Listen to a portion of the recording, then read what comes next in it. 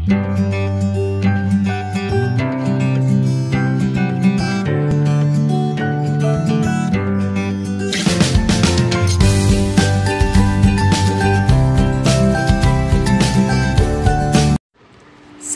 का ढाबा में आपका स्वागत है। आज हम बनाएँगे मीठी मीठी टूटी फ्रूटी। आपने टूटी फ्रूटी नाम तो सुना ही होगा और टूटी फ्रूटी खाई भी होगी। आइसक्रीम में, ब्रेड बंस में, केक्स में, है ना? तो आज हम वही फ्रूटी फ्रूटी बनाएँगे घर में। चलिए चलते हैं रसोई में और देखते हैं कैसे बनाते हैं इसे।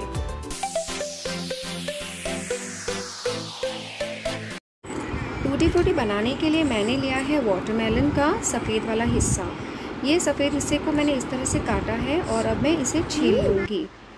छीलने के बाद मैंने इसके इस तरीके से छोटे छोटे टुकड़े कर लिए हैं और हम इसे अब डाल देंगे पतीले में। बॉईल करने के लिए। ये पतीले में डाला है मैंने। अब इसमें मैं डाल दूँगी एक गिलास पानी।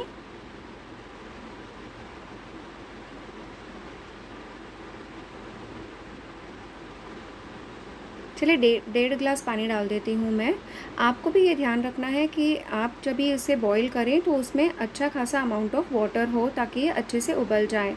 अब हम इसे ढक देंगे और इसे उबलने देंगे दस मिनट तक।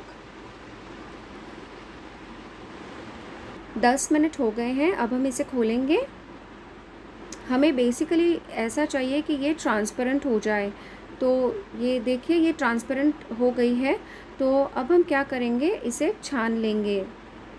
तो अब मैं गैस बंद करती हूँ और अब हम इसे एक छन्नी में छान लेते हैं।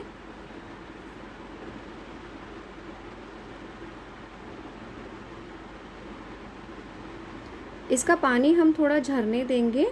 पानी इसका थोड़ा निकल जाए। इन द मीन वाइल हम अब एक पतीला लेंगे। इस पतीले को रखेंगे गैस पर और इसमें अब हम डालेंगे एक कप चीनी दैट इज़ 200 ग्राम चीनी है ये। तो अब ये इसको मैंने डाला है पतीले में और हम इसमें अब डाल देंगे एक ग्लास पानी। इसे अब हमें फास्ट गैस पर कंटिन्यूसली मिलाते रहना है। इस चीनी को हम पहले पिघला लेंगे पूरे तरीके से। इसे मिलाते रहेंगे, फास्ट गैस रखेंगे। ये देखिए, चीनी हमारी मिल चुकी है, घुल गई है पानी में। अब हम इसमें डाल देंगे कलिंगर के टुकड़े जो हमने बॉईल करके रखे थे। अब इसे जो है, हमें टोटल दस मिनट के लिए इस शुगर सिरप में इसे बॉईल होने देना है। तो दस मिनट तक हम इसे बॉईल होने देंगे। हम इसे अब ढक देंगे। दस मिनट के बाद देखेंगे। दस मिनट हो गए हैं। चलिए अब देखते हैं।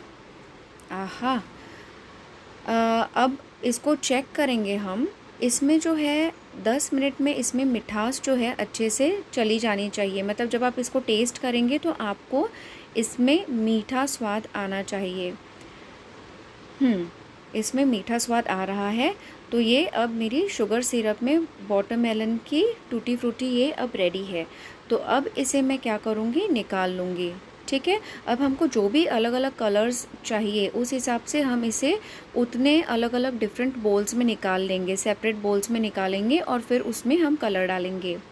मैंने अब इसको तीन अलग अलग बोल्स में निकाला है और मैं तीनों को अलग अलग कलर करूँगी। ये देखिए ये तीनों में मैंने अलग अलग कलर किया है। ये है रोज़ पिंक जो मैंने यहाँ पे किया है, इस वाले बोल में। ये है स्ट्रॉबेरी स्ट्रॉबेरी कलर मैंने इसमें डाला है। और ये लेमन येलो है, जो मैंने इसमें डाला है। ध्यान रहे कि आपको कलर ज़्यादा क्वांटिटी में डालना है, क्योंकि ये उसे अच्छे से एब्जॉर्ब करेंगे तो ही उसमें कलर आएगा। अगर आप कम डालेंगे तो क्या होगा? कलर नहीं आएगा। हमें टूटी फ्रूटी को पूरे डेढ़ घंटे तक भीगे रहने देना है और उसके बाद में एक ट्रे में या थाली में जो भी आपको सूटेबल हो, उसमें एक फॉइल बिछाकर इस तरीके से आपको निकाल कर सुखाने के लिए रखना है। ओके? तो पूरा डेढ़ घंटा आपको भिगा के रखना है और फिर इस तरीके से आप स्पून से या फोक से या छलनी में छान कर सूखा सूखा जो है, वो आप रखेंगे सूखने के लिए। तो इस तरीके से मैंने इसको पूरा एक दिन के लिए सुखाया है धूप में। ये देखिए, एक दिन में शाम तक ये मेरी टूटी फ्रूटी बन गई है।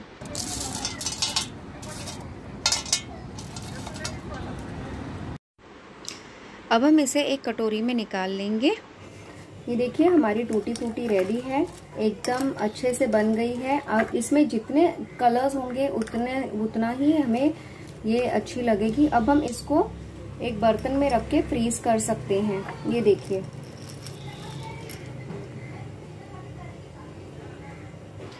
तो चलिए, आप भी घर पर टूटी फ्रूटी बनाइए और हमें बताइए कि आपको ये रेसिपी कैसी लगी।